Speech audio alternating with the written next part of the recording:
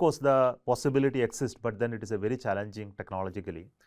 Uh, when you look from space, typically 400, 500 kilometers away, you are looking at some signal and that signal has to come through either an optical or radar or any other electromagnetic media and it must be strong enough to be picked by the sensors on the satellite. Without that you can't do. Suppose you look at a radar method which can penetrate, it can penetrate to certain extent, but not to depths where there are debris and boulders and things like that are available. So, there are limitations of uh, space based sensors to locate objects which are deep buried under debris, which is currently an issue. Uh, there are many, many things which Earth uh, space based observation cannot observe. I think all of you know that uh, deep under the ground what is available you cannot detect, but of course, certain depth of penetration is always possible by radar signals.